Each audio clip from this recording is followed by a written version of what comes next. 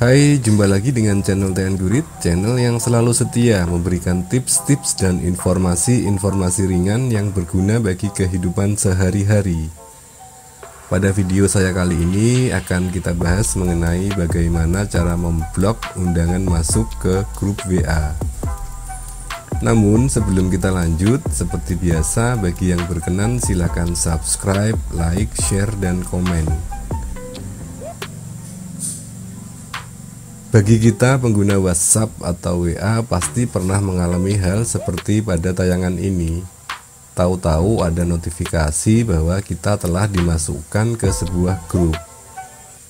Kalau sudah ada kesepakatan antara kita dengan admin pengundang sih tidak ada masalah.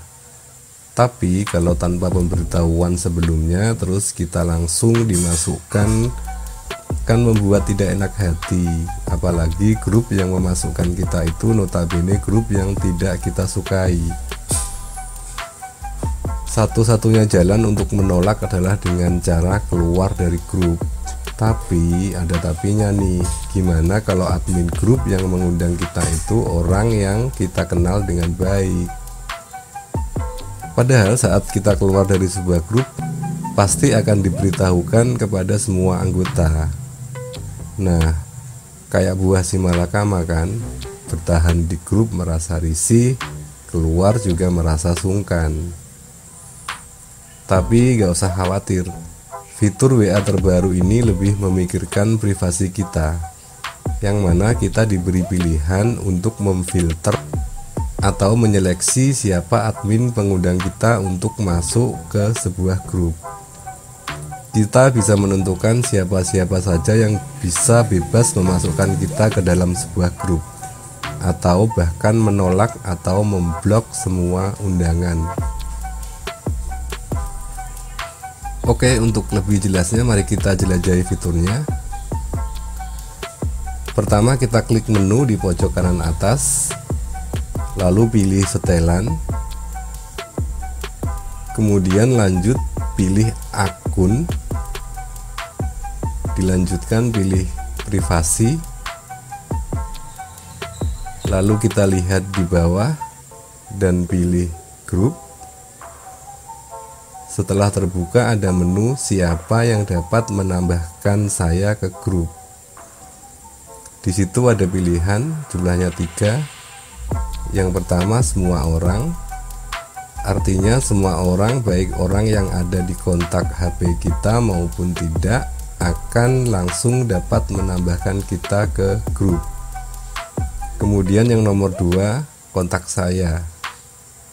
Jika kita memilih ini, maka yang bisa menambahkan kita adalah orang atau admin yang nomornya ada di kontak HP kita. Dan yang ketiga, kontak saya kecuali. Apabila kita pilih ini, maka hanya orang-orang yang kita kehendaki yang bisa menambahkan kita ke grup. Caranya kita pilih kontak saya kecuali, di situ akan muncul seluruh kontak kita. Kita bisa memilih orang-orang yang tidak kita kehendaki dengan cara menandai atau mencentang di sebelah kanan. Maka kontak-kontak yang kita tandai itu di sebelah kanannya akan berubah menjadi tercentang dan berwarna merah. Itulah kontak-kontak yang tidak bisa langsung menambahkan kita ke grup. Dan hanya orang-orang yang tidak kita tandai itulah yang bisa langsung menambahkan kita ke grup. Paling ekstrimnya adalah dengan menandai semua orang yang ada di kontak kita. Dengan begitu tidak seorang pun dapat menambahkan kita secara langsung ke grup, baik orang yang ada di kontak maupun yang tidak.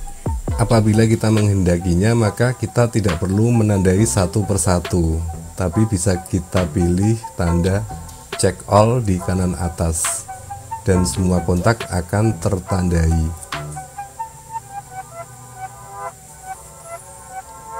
Saya contohkan ini WA saya dengan nama kontaknya nomor Q dalam keadaan memblok semua orang.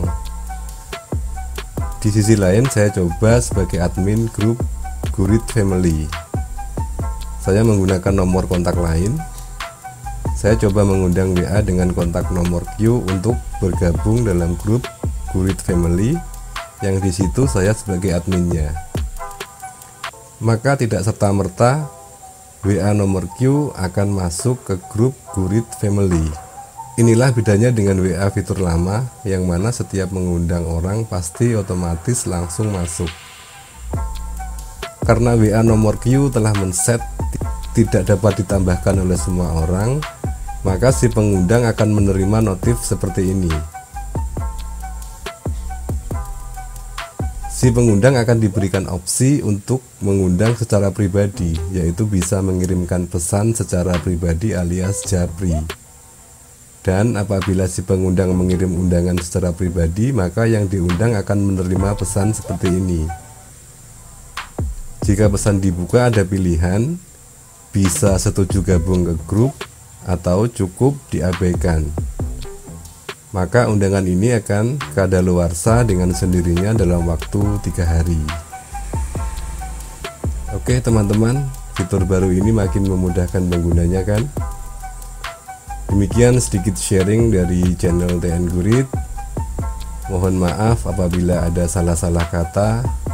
Selamat mencoba dan semoga berguna. Wassalam.